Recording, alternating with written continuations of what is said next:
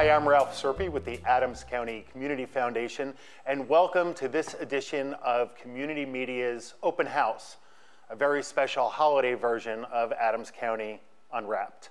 Thank you for joining us. Today, I am with Matt Crowner with the Gettysburg Green Gathering. Welcome, Matt. Thanks, Ralph. It's great to be here. I'm Happy holidays. I'm sure it is. Happy holidays to, to us all. Matt, tell us about the Gettysburg Green Gathering. What is it? So the Gettysburg Green Gathering uh, started about 12, uh, 12, 13 years ago. Um, and we started out with an idea that we realized in Gettysburg, in the Gettysburg area, there was nothing going on for Earth Day. And there was a group of people who were kind of hanging out and decided we should do something about it. Um, and so at that point, uh, it happened to be a bunch of musicians and environmentally uh, conscious group of just local people. And so we tried to kind of put together a gathering on Earth Day that would be sort of like Woodstock meets uh, Sierra Club. The idea was to have like music and kind of an event. And then we would invite local um, environmental groups and businesses that practice environmental stewardship and stuff could set up their booths and kind of talk about it. We did that for a number of years. Um, and we always ran into weather issues, it seemed like, because it was in April. So we kept moving it back in, in the, into May and then eventually went to June. Uh, it was starting to become quite successful. We had moved over to the Gettysburg Rec Park. Um, we had our best turnout ever, and then COVID hit. So we had to adjust. And at that point in time, we sort of relooked at what we were doing and decided to sort of retool the Green Gathering as an organization and focus more on doing actual service-oriented stuff within the community.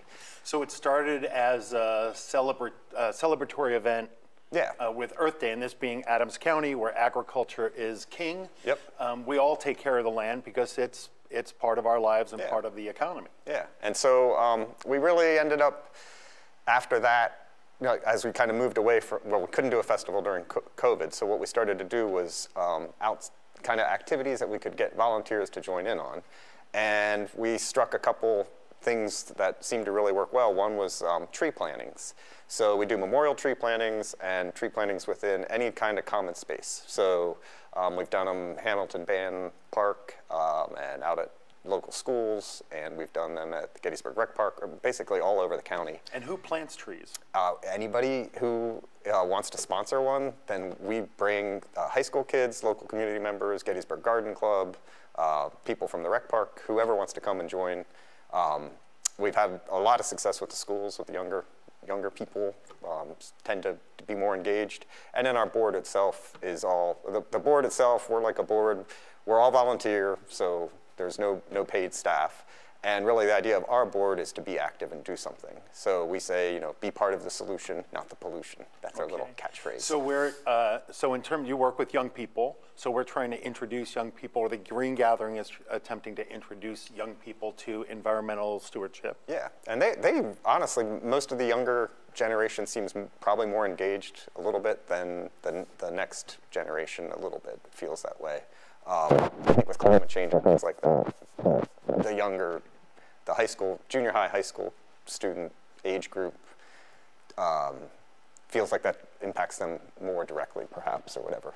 Uh, we also give out scholarships, so that helps engage them as well. So we give out scholarships to students that are either going to pursue some sort of environmental um, related secondary education, whether it's tech school or, or uh, you know, four-year, four-year school or associate's degree. And in addition, we also have given scholarships to some local organizations like Strawberry Hill to help them with students that might, or with children who may need help with um, the cost of their camps and that kind of thing. So really what we're trying to do within the, the gathering now has shifted from being a gathering that's like a festival to a gathering of other organizations or people within the community that have common environmental interests. Because at the end of the day, our mission is like kind of to inspire and foster uh, environmental stewardship within Adams County itself through business and, and people themselves. Um, and so we've, we've, it feels really, you know, between the Gettysburg Garden Club and um, the Land Conservancy and Strawberry Hill, there's all the, the, the Watershed Alliance, and there's tons of environmental groups within our area, all kind of working towards the same goal, but it's, it seemed to be helpful to have somebody that when there's an event coming up, we can try to bring the different organizations together. So I know that you, uh, you talked about tree planting and uh, that you do as an organization. What other projects have you worked on in, in the, uh, since the, the end of COVID as you've come out of your cocoon? So, uh, so we also have um, twice a year we bring environmental speakers to to the county. Um, Doug Tallamy was really well attended. He's a uh, um, proponent of native plants. Um, so along those lines, we've shifted into that because there was such a good um, we had a very good draw to that event and a lot of engagement. So we also have started planting pollinator gardens um, and native plant. Uh, he has a thing where it's it's basically you're doing your homegrown national park. So you within your own yard you can plant native plants. Very cool concept. Um, and then we've had a we had a speaker about monarch butterflies, which which I knew nothing about, so that was fascinating.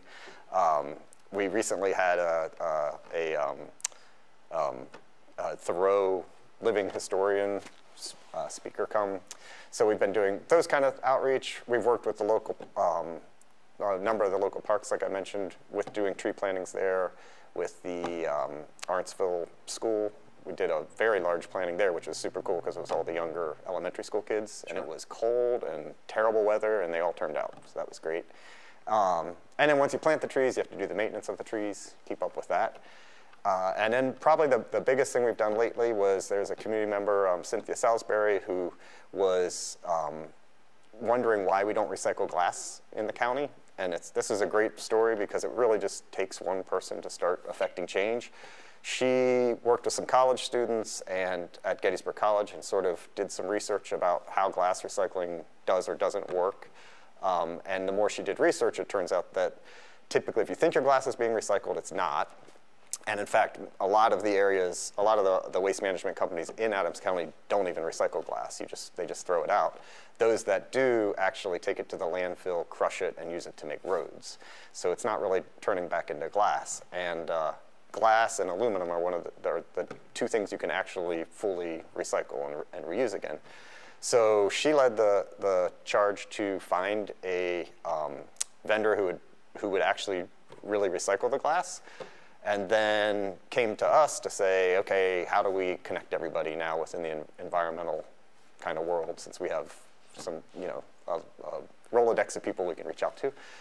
Um, so at that point, we actually worked with the county commissioners, um, and they and we got a grant to to build an area to put the glass, and then the Gettysburg Green Gathering manages the volunteers for the drop-off sites. Um, for the drop-off area and on those weekends when we're doing it.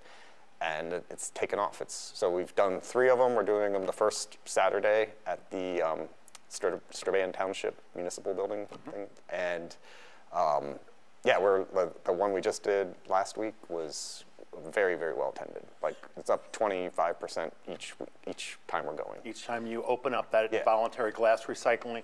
If you're just joining us, I'm Ralph Serpe with the Adams County Community Foundation. Joining me today is Matt Crowner, who is with the Gettysburg Green Gathering. And Matt is explaining uh, the um, uh, the rollout of voluntary glass recycling in Adams County.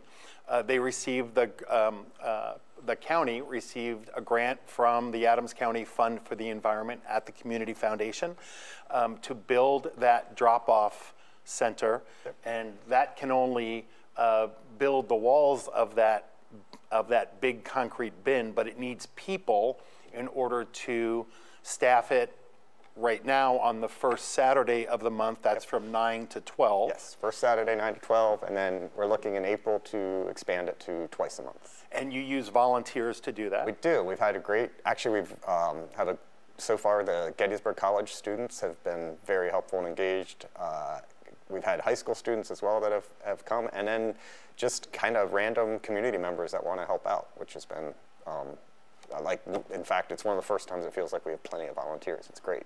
So, we, so there are two opportunities here for folks that are listening to us. The first is um, save your glass jars and bottles. That's what we accept, correct? Yep, and it's a judge-free zone. All right, so, if, you have a bunch, if you have a bunch of wine bottles, we Right, well, There's and no here we are during the holidays, so uh, we anticipate the first Saturday in January will be chock full of wine, champagne, beer, and other alcoholic Yeah, uh, and we even, the last one, we had um, a couple local uh, dairy farmers who've had, this uh, new to me, that they've had glass that they can't reuse.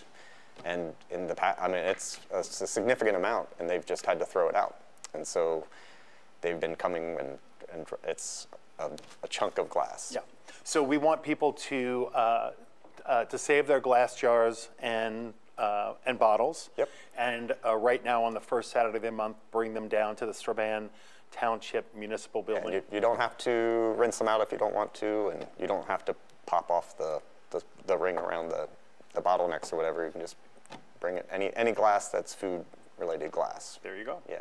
And so that's one way to help, and we really need people to not only um, recycle their own glass, but they can be uh, sort of their block captain. Yeah, and that's, we have, that was the other, that's a great point. We had a number of people who came who were like, oh, I'm the glass person for, um, you know, Springs Avenue or whatever. And so they went and picked up all their neighbors' glass and then brought it in.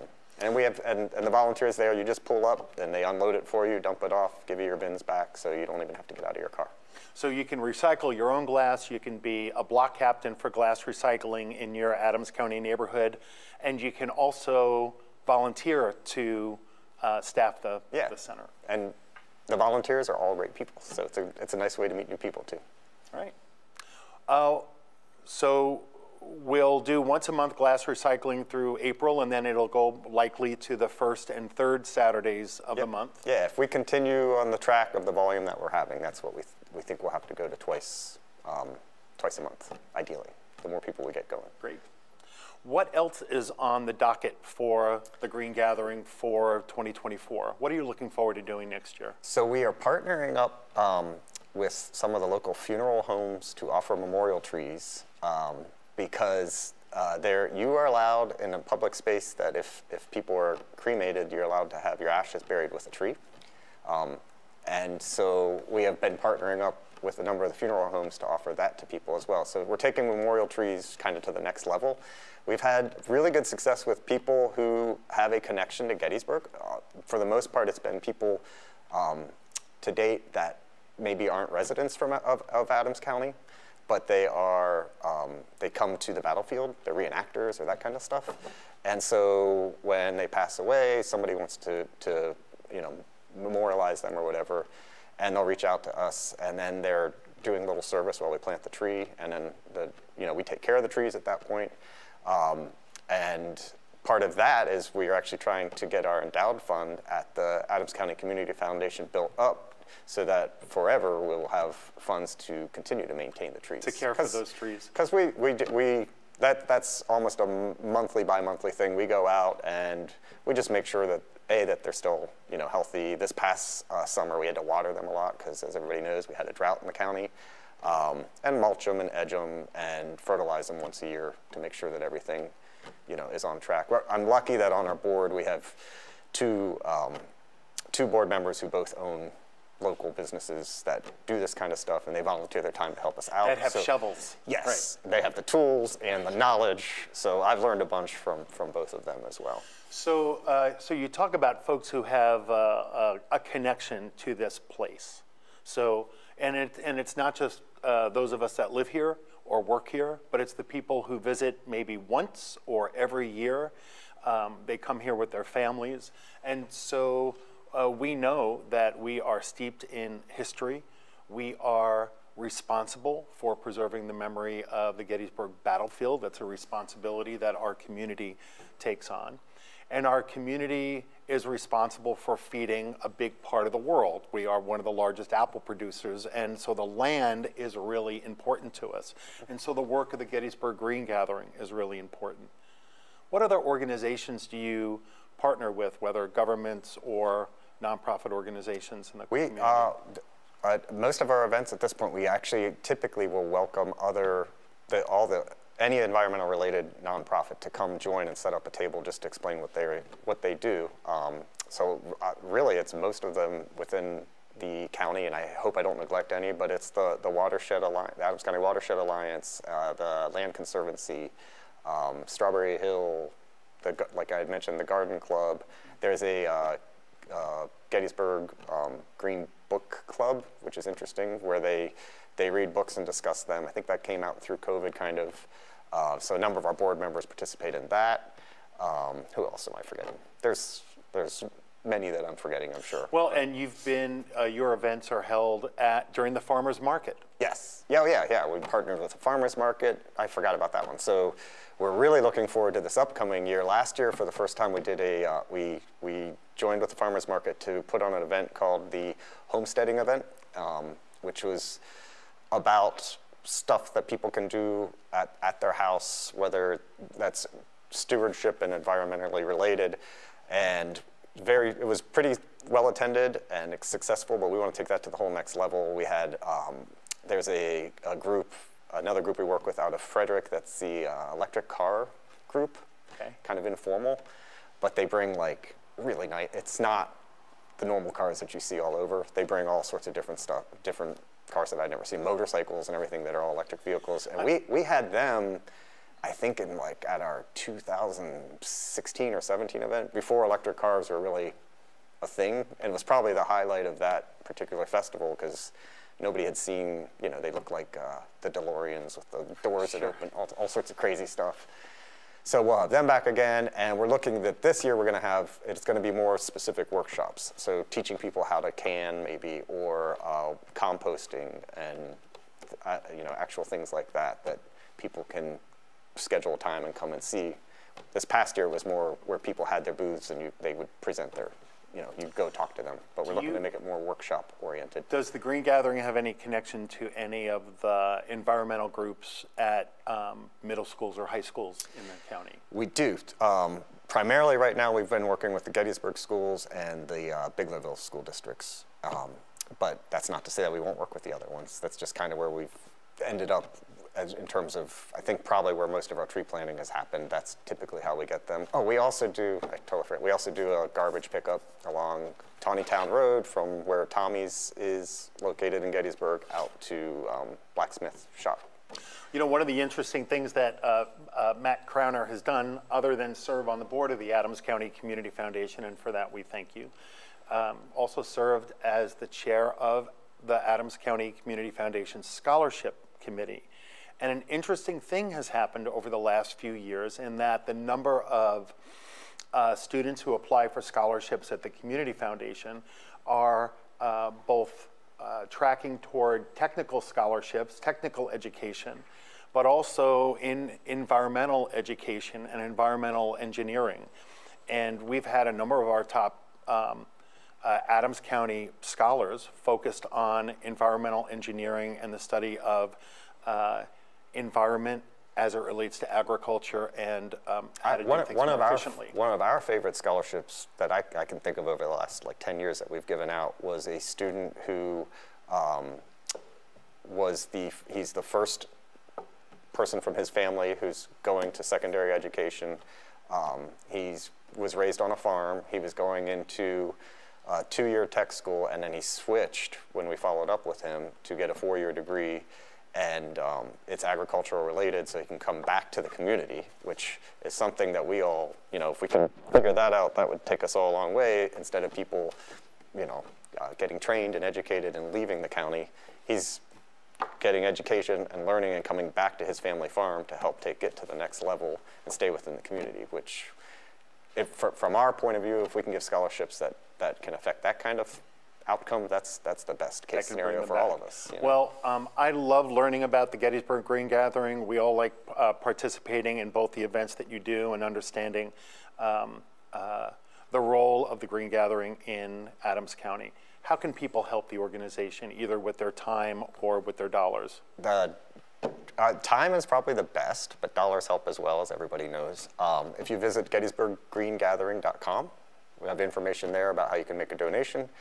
You can also make a donation to the Adams County Community Foundation for our endowed fund. That would be immensely appreciated so that we can keep uh, doing what we're doing when we're not here. Um, and then, uh, in addition, on our website, we keep a list of acti- upcoming activities and things with little sign up sheets just to give us a head count to know who all's coming. Um, and last but not least, you can always send an email to info at gettysburggreengathering.com. And uh, we'd love to have volunteers both for uh, tree plantings, trash pickup, and especially the glass recycling. We can always use help. And if you can't volunteer, you can also make sure you come and drop your glass off. Excellent. Thank you, Matt. Thank, Thank you so much for joining Appreciate us. it. Appreciate it. Thank you for joining us for this edition of uh, Community Media Open House, Adams County Unwrapped, our holiday edition. To find out more about the Gettysburg Green Gathering and uh, environmental um, uh, programs around the county, please visit the GettysburgGreenGathering.com website. Once again, I'm Ralph Serpe with Matt Crowner. Um, thank you for joining us.